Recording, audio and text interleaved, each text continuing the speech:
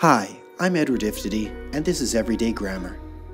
Today we'll be learning how to talk about the future. To do that, we need to learn more about the present continuous and future continuous tenses.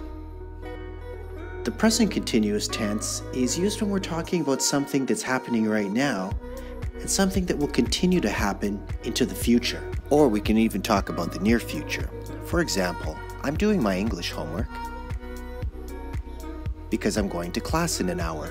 On the other hand, the future continuous is interesting because we can make predictions about the future. For example, by this time tomorrow, I'll be on a beach in Hawaii.